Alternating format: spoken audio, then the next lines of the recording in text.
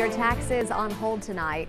In Washington, the Senate's been scrambling all day to get one more vote for the Republican plan. So, what is your tax bill going to look like next year? Tracy Potts is following the latest developments.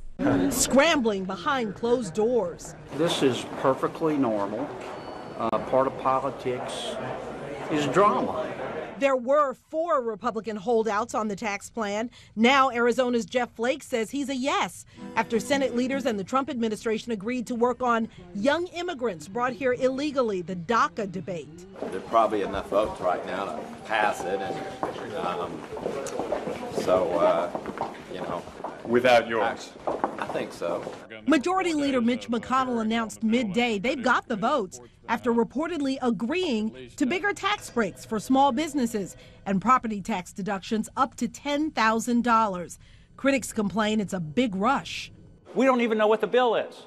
As of now, nobody can tell you what's in this bill. It's absolutely ridiculous. There has been a lot of thought over a long period of time, uh, not only months, but years, literally years of work Here's what's on the table cutting individual tax rates, doubling the standard deduction, expanding the child tax credit, but ending deductions for state and local taxes and medical expenses.